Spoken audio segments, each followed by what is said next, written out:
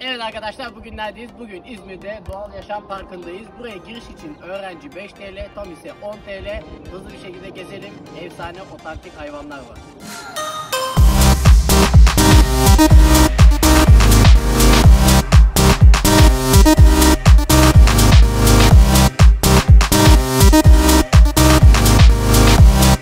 Evet arkadaşlar şimdi arkamda bulunan tropik merkeze gireceğiz ve içeride timsahları, yılanları, kuşları, papağanları ve diğer hayvanları göreceğiz. Hadi o zaman gidelim.